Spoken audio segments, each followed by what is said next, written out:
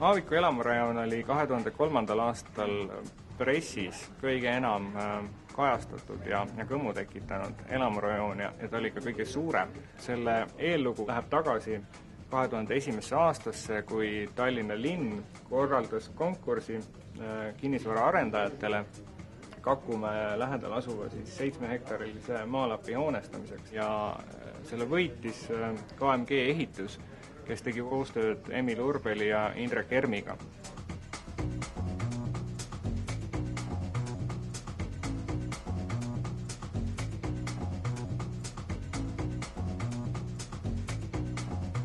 ja kuna need krundid kippusid tulema siis sellised neljasaja ruutmeetrised, siis pidasime nagu oluliseks, et, et ka igale krundile jääks, jääks oma aed.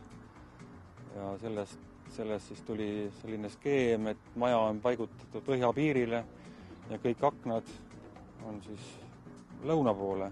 niimoodi saime ka siis lõuna poole seda väikest krunti arvestades maksimaalselt suure aia igale krundile.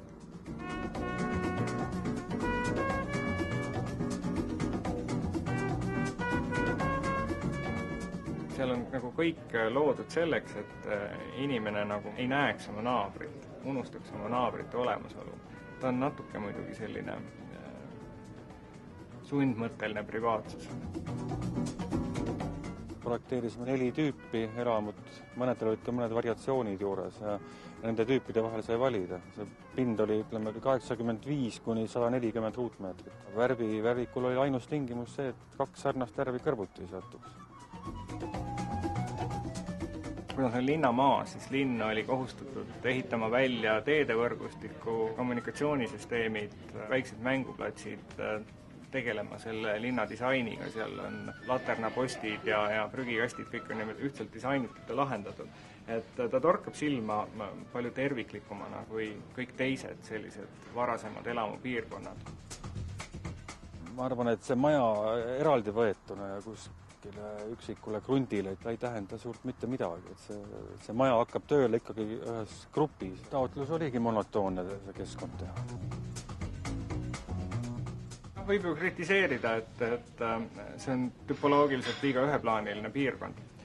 aga äh, teine võimalus on näha seda osana äkki siis äh, suuremast arengust seal piirkonnas, et äkki saaks neid ridamaju ja, ja neid erineva funktsiooniga hooneid sinna lisada. et see tekiks teatav heterogeensus või paljusus nende elanike osas. praegu on tõsi, et, et see elanikkond jääb üsna selliseks üheks suletud grupiks. ta läkski käima nagu noore pere projekt või sundüürnikud või midagi sellist, mis kaunid äh, sõnad seal kõik taga olid, aga on täiesti selge, et äh, miljoni kuni pooleteist miljonilist maja ehitab ikka ka teatud kindel seltskond tänapäeval.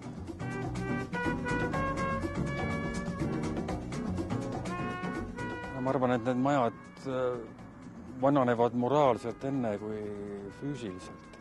ega maja ei peagi kakssada aastat vastu pidama, see on täiesti selge